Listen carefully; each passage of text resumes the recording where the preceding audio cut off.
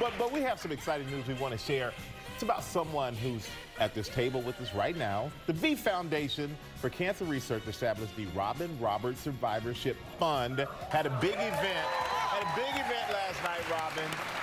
Just can you tell us a little bit, tell us a little bit more about it? Uh, we not only raise uh, money, we raise the roof at Blue Smoke. I got to tell you, as you know, the V Foundation is very close to my heart. I've been on the board of directors for many years, and last night I was honored to be at the second annual dinner at Blue Smoke, and that's Jean Paul, the chef, Jean Paul. Boy, that fried chicken he made, oh, it's so good. But um, it, it's really about thriving after cancer treatment, uh, which isn't easy because there are so many long-term complications. Uh, Larry Spencer was there last night.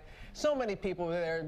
James Goldston, the head of ABC News, and Mike, and that's my that's my little posse there. But once the treatment is over, uh, there's so much going on, and there is ongoing research fund. It's going to help millions of cancer patients have a better quality of life in the long run, become thrivers, not just survivors. There are more than 16 million thrivers, and there's some wonderful V members here. Julie, I got to tell you, thank you, Julie.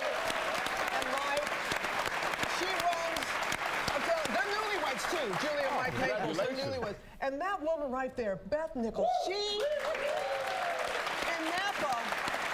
How, Julie, how much did we raise last this year? 18.1 million. Wow. 18.1 million because of that.